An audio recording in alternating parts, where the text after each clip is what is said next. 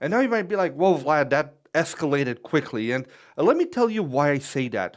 So, first of all, the AI Builder has been removed as a topic from the PL900 Power Platform Fundamental Certification. It's not something that people need to know anymore. Not only to get PL900 certified, Microsoft said this is not something you need to know as part of the Power Platform Fundamentals. Of course, the APL 7004 applied skill we just talked about is getting retired, and we even see SharePoint Content AI is moving away from using AI builder models in their tools.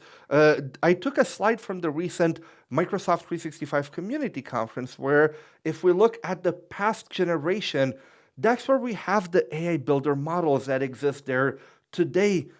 That Microsoft considers that past generation, where if we look at the next generation, we have LLM based stuff. There is all in autofill columns. So that was my initial reaction after seeing all of those three things, putting them together.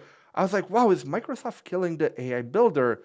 But then I started researching a bit more deeper into it and I looked at the roadmap where Microsoft publishes the roadmap and I realized there's actually over 10 features planned for the AI builder in the 2025 release wave 1.